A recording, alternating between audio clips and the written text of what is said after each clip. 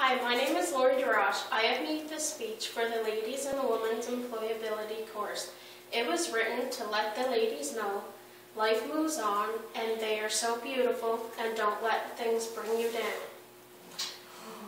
We sometimes let people get the best of us, destroy us, and change our opinions on what we believe is true. Only you know what is right for yourself. You have the power, you make the choices, and you learn. Each experience we go through in life is a lesson to be learned. We all make mistakes. Why is that so hard for some to understand? No one should be judged by the mistakes they have made. It's past news. Don't wait till everything is just right. It will never be perfect. There are always there will always be challenges, obstacles, and less than perfect conditions. So what?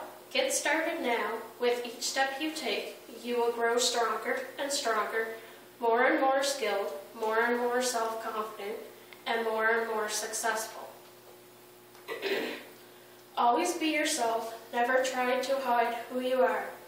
The only shame is to have shame. Always stand up for what you believe in. Always question what other people tell you. Never regret the past. It's a waste of time. There is a reason for everything. Every mistake, every moment or weakness that has happened to you, grow from it.